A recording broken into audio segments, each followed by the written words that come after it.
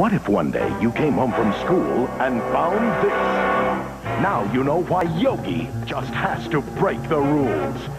In a world where between meal snacks are a crime, he's an outlaw, always on the run from the man with the badge. Yogi, come back! I promised you a fair trial. That food-loving fugitive bear is Nickelodeon's most wanted, Yogi Bear.